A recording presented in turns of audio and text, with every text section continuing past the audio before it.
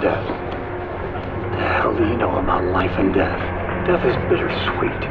Sort of bitter in its pain, but sweet in its salvation. That's what you know about life and death, and it's pathetic.